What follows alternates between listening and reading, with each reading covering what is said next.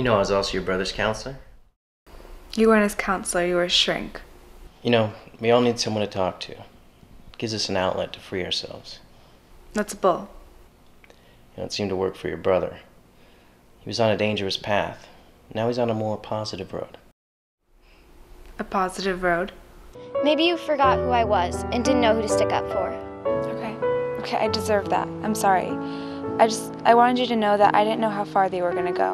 But you didn't even try to stop them. Who was that? No one. Oh, don't give me that crap. You had to have been talking to someone. It was nobody. Just leave me alone. You're going out tonight? Yeah. Wearing that? This is my favorite outfit. It makes you look like a slut. Wear something more flattering. Fine, don't listen to me. I was trying to save you from a night of embarrassment. Just shut up, okay? Don't talk to me. Don't try to help me. Just leave me alone. I don't want anything to do with you.